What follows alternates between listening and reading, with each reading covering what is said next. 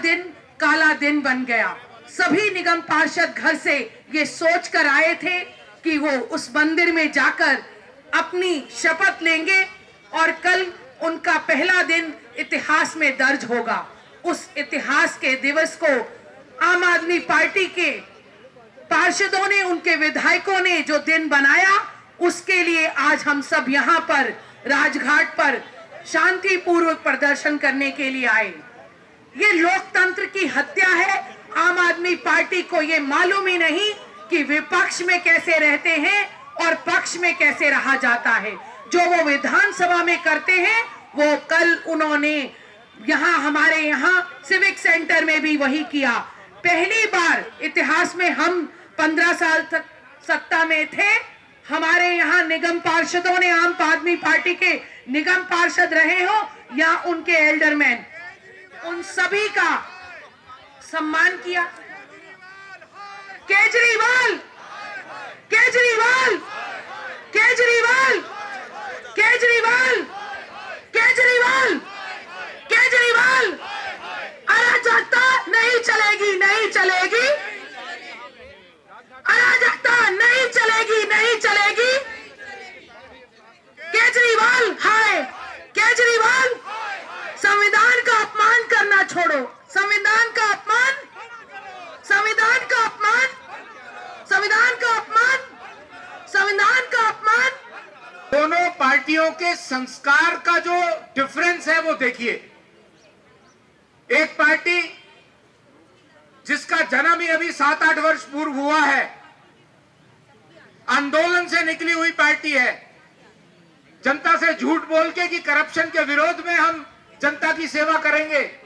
Most corrupt party है, किसी कानून को ना मानने वाली पार्टी है, किसी संविधान को भारत के संविधान का, जो डॉक्टर भीमराव अंबेडकर जी ने बनाया था। मैं समझता हूँ उन्होंने कल एक बार फिर डॉक्टर भीमराव अंबेडकर जी का अपमान किया है। आज भी दो, एक प्रदर्शन और एक धरना चल रहा है दिल्ली के अंदर। मानसिकता देखिए आम आदमी पार्टी के नेता एलजी साहब के घर के अंदर घुस के तोड़फोड़ करने की कोशिश कर रहे हैं। दंगा कर रहे हैं, जैसा कल उन्होंने हाउस में किया। और एक तरफ़ भारतीय जनता पार्टी के पार्षद अपनी मांग को लेकर के शांतिपूर्ण धरना कर रहे हैं बापू की समाधि के बाहर। एक बात और मैं अपने मीडिया के बंधुओं के माध्यम से केजरीवाल साहब से पूछना चाहता हूँ। पिछली बार जब निगम में उन्होंने 30 एल्डरमैन मनोनीत किए थे, उनकी शपथ भी हुई थी, उनकी वोट भी हुई थी तो इस बार कौन सी समस्या आ गई? एल्डरमैन का मनोनयन होना टीएमसी एक्ट में लिखा है, संविधान के अनुसार है, इसमें कौन सी गलत बात हो गई? तो वह शपथ क्यों नहीं लेंगे? ये बात मैं आप सबके माध्यम से केजरीवाल साहब से पूछना चाहता हूँ। अगर इस बात में कोई गलत बात है, या उनको लगता है कि ये बात ठीक है तो मीडिया के सामने आकर के इस बात का जवाब दें। हमारे बीच में यहाँ पर हमारे वरिष्ठ नेता हमारे बीच में हैं। उन सब का भी संबोधन रहेगा। मैं दक्षिणी दिल्ली नगर निगम के सांसद भाई रमेश विदुड़ी जी से आग्रह कर रहा हूँ, कृपया आए और अपनी बात संक्षेप में रखें। भाई रमेश विदुड़ी जी।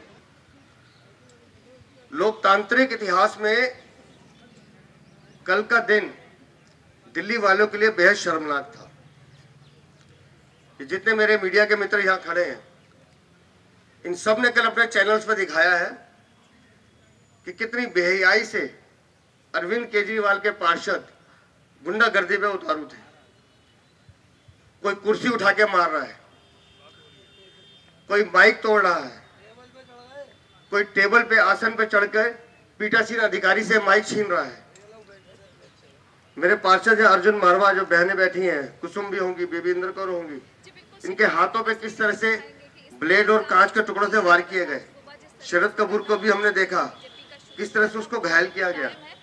उसके बावजूद भी जब सदन प्रारंभ होना था 11 बजे हमारे सभी सांसद, सभी विधायक, सभी पार्षद वहाँ शांति से बैठे हुए प्रतीक्षा कर रहे थे कि कब ये लोग आएँगे और सदन की कार्रवाई प्रारंभ होगी। और जब शपथ प्रारंभ हुई तो ये प्लानिंग से ग्यारह बज के पैंतालीस मिनट पर आए और आते ही इन्होंने हंगामा शुरू किया।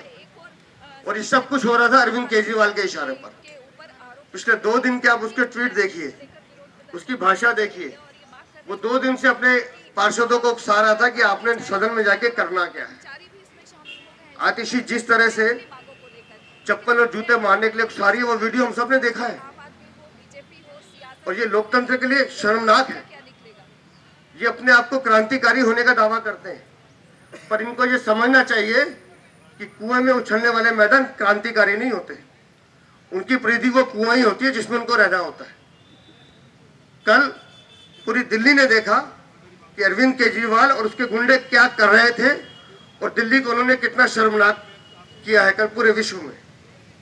लेकिन हम आज अपने पार्षदों के माध्यम से उनको ये बताना चाहते हैं कि लोकतांत्रिक व्यवस्था में चुनाव लड़ना सभी पार्टियों का दायित्व है।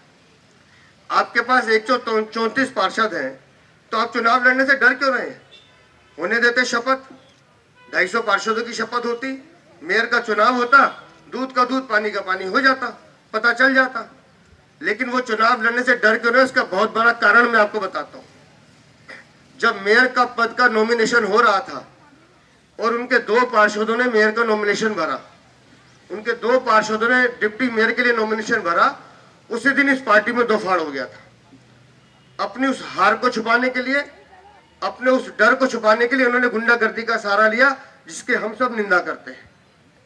और आज इस मंच के माध्यम से हम ये माननीय उपराज्यपाल से महोदय से ये निवेदन करते हैं कि आप एक कमेटी बनाएँ, पीठासीन अधिकारी से रिपोर्ट मंगाएँ, उस कमेटी से जाँच कराएँ, और जिन लोगों ने कल सदन में गुंडागर्दी की है, उनके खिलाफ कठोर कार्रवाई करें।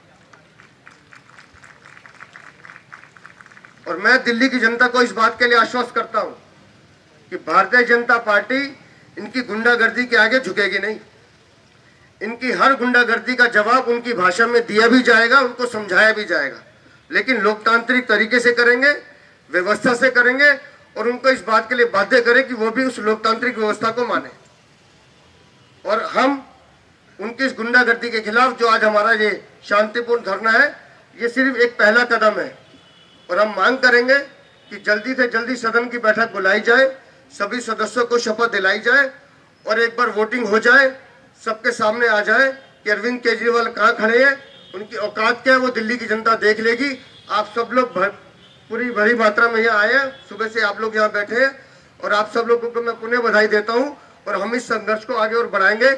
आप सबका बहुत बहुत धन्यवाद आभार थैंक यू। विधायकों ने जिस तरीके से गुंडागर्दी का परिचय दिया है ये बहुत निंदनीय है।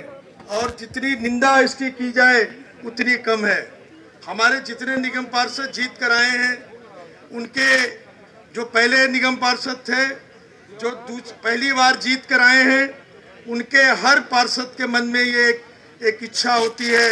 उनके परिवार के लोग भी होते हैं कि आज हमारे परिवार का कोई व्यक्ति सदन के अंदर आज वहाँ शपथ लेने के लिए जा रहा है।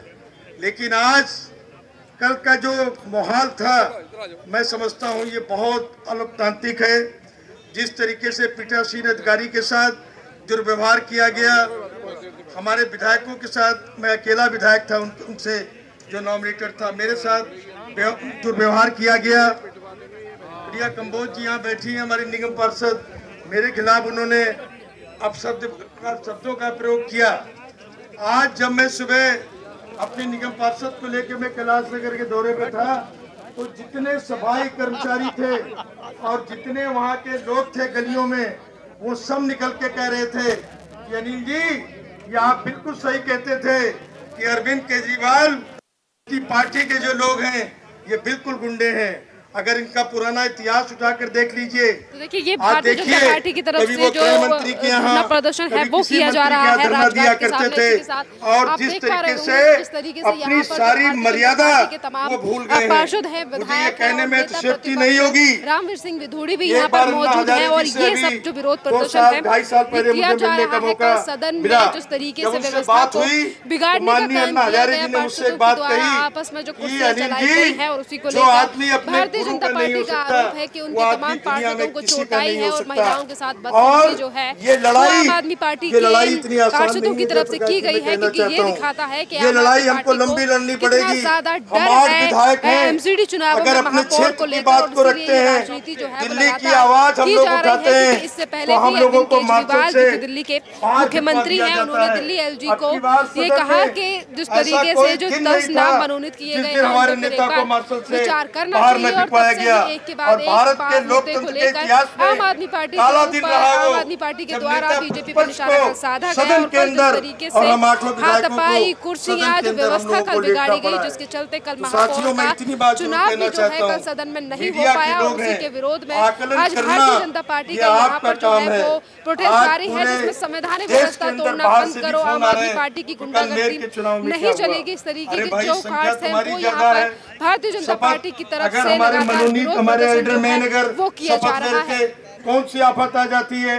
लेकिन उनका काम दुष्टता का है उनका काम निष्ठा का है। माता की भारत माता की भारतीय जनता पार्टी भारतीय जनता पार्टी। धन्यवाद। भाई जयप्रकाश जेपी जी। आपने मुझे यहाँ अपनी बात रखने का मौका दिया है।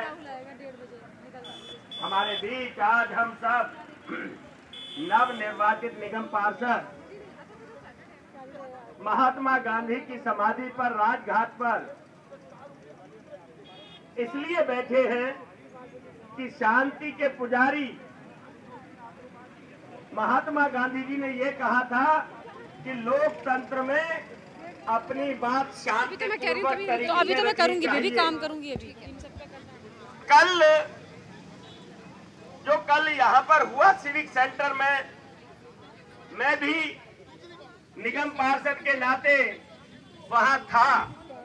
पहली बार चुना गया और मैं सोचकर गया था कि जब हम जाएँगे तो वहाँ हमारी शपथ होगी, उसके बाद हम महापौर के लिए उप महापौर के लिए स्टैंडिंग कमेटी के लिए मतदान करेंगे।